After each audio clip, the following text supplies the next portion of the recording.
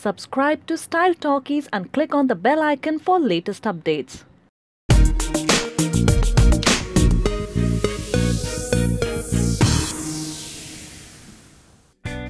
Manish Malhotra showcased his new collection at the grand finale of the recently concluded Lakme Fashion Week Winter Festive 2017 and many celebs walked on the ramp to show their support for the designer.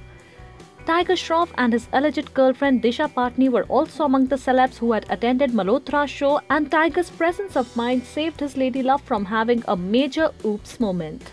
Tiger walked on the ramp and Disha was supposed to walk after him but she did not.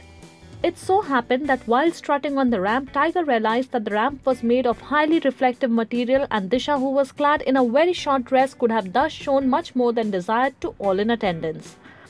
After Shroff made her aware of this issue, Disha skipped the ramp walk and instead posed for the Shutterbugs on the red carpet.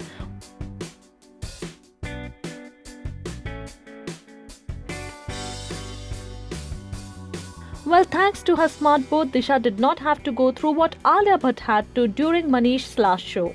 Alia and Ranveer were the showstoppers of Malhotra's last runway show, and in a bid to manage the long train of her gown, Manish lifted the garment on the stage, and while doing so, Alia's panties became visible on the reflective surface of the ramp.